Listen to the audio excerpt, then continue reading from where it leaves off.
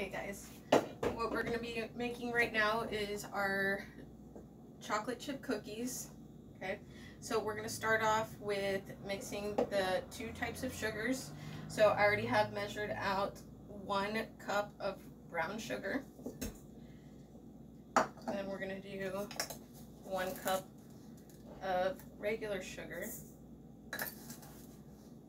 This is half cup, so I'm doing two scoops. And then each stick of butter is worth half a cup. So we need two sticks of butter for one cup of butter. And it must be softened. So I had already put it in the microwave for 20 seconds. You can see that it's soft, it's not melted.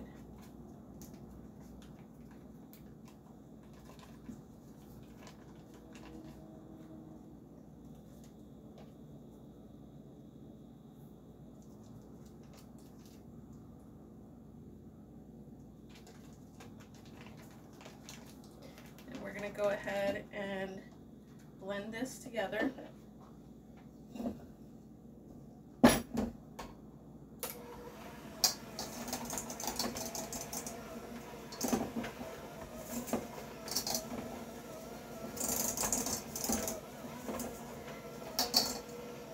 You don't need to worry about over mixing this because it doesn't have the flour in it yet increase the speed as well.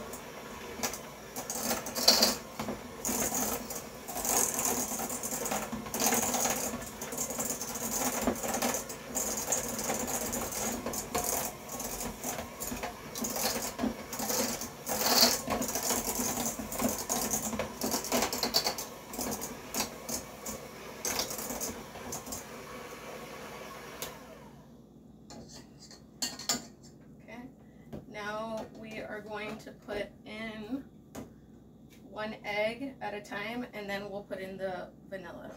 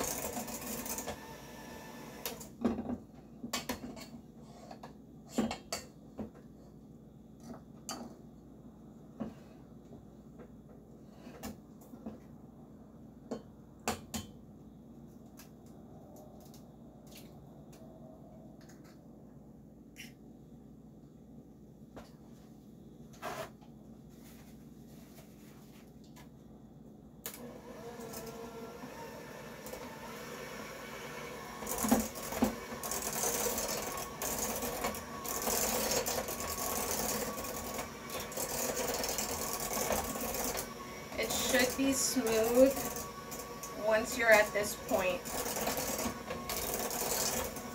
You shouldn't have any clumps of sugar or anything like that. Okay, and this is going to be, the next thing is two teaspoons of vanilla. I'm gonna just leave this in here, guys. Remember with vanilla, it spills out quickly, so make sure that you are measuring slowly. Don't be in a rush when pouring this.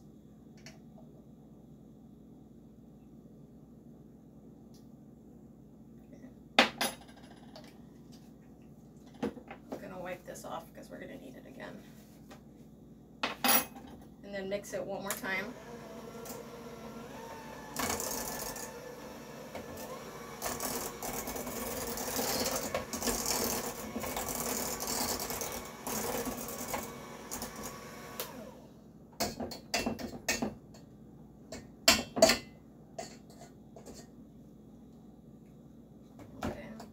And then the next thing is I already microwaved the water, so this is hot water right here. And then we are going to dissolve baking soda. And we need one teaspoon of baking soda. Make sure it's baking soda and not baking powder because those are two totally different things.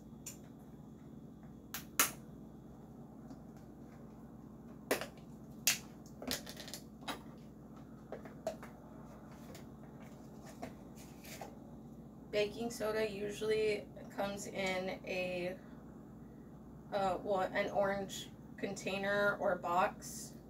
Usually it's in a cardboard box. I have this one though. Um, okay, so I'm gonna stir it up a little bit to make sure it dissolves. Okay. And then we're gonna add this into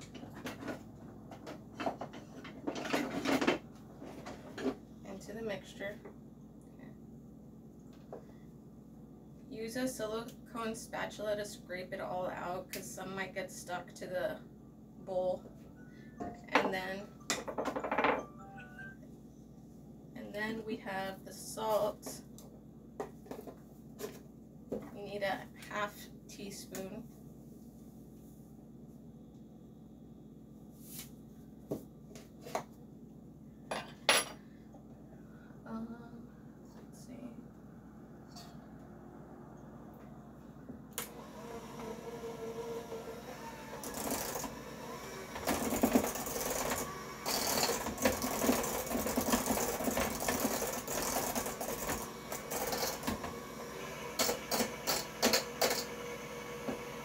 Usually will hit it against the bowl while it's still on because you want to get as much batter off as you can from there.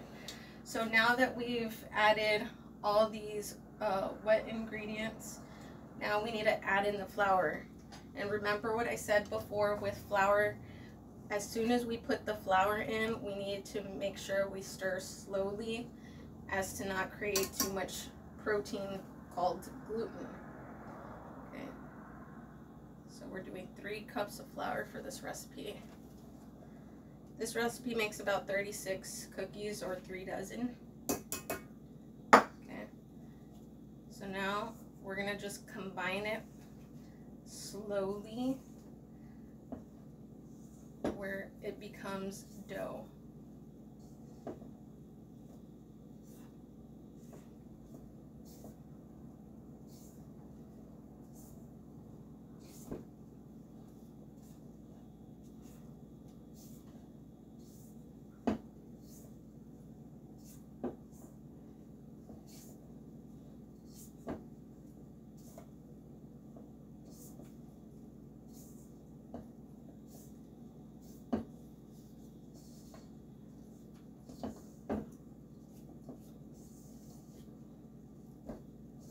Do not want to see any flour that's loose. It should be all combined where it's not white anymore.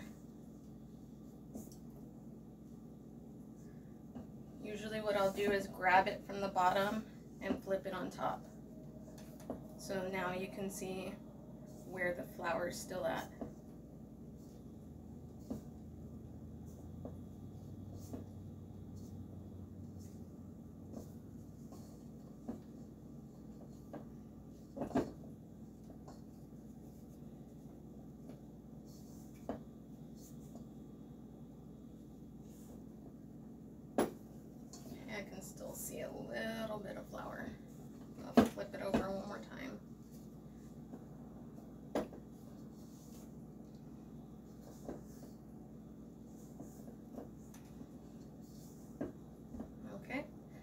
Next thing to add are the chocolate chip cookies, chocolate chips.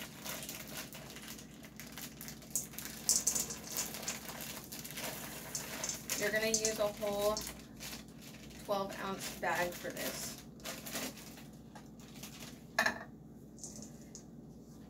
And with this, you're just combining it in there also.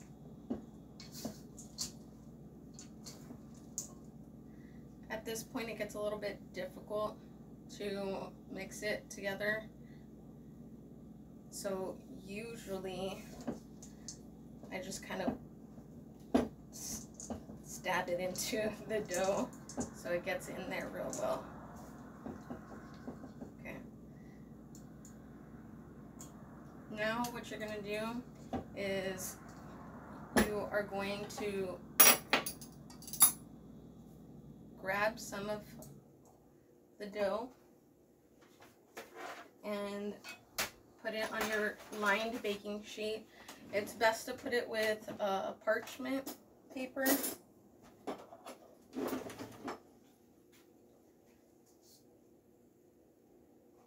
I usually will get a tablespoon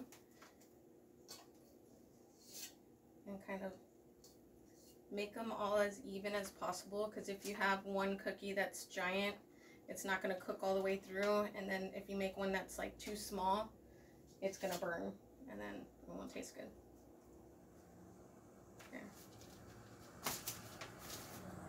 So it's go- it's going to spread out when it starts um, when it's baking. So make sure to give it some space uh, you should be able to put 12 cookies on the baking sheet.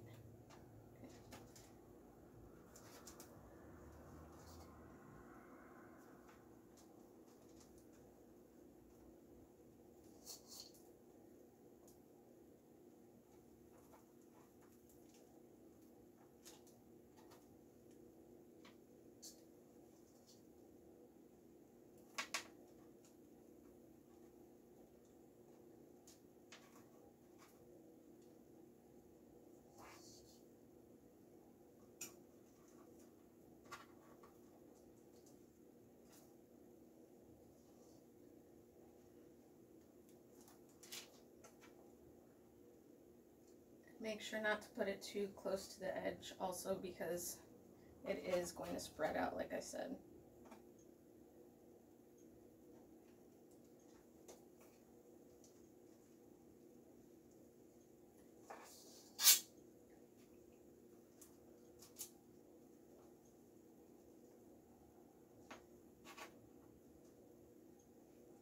Okay, and now we're ready to bake these cookies.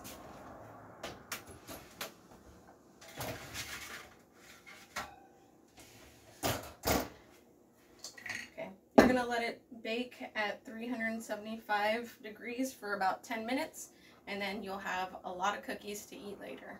Thanks guys.